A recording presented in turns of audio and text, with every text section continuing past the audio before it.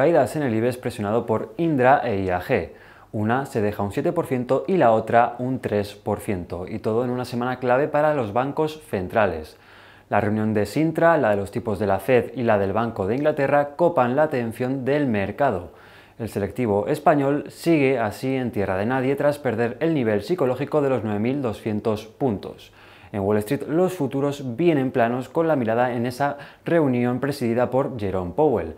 Pueden seguir informados en bolsamanía.com.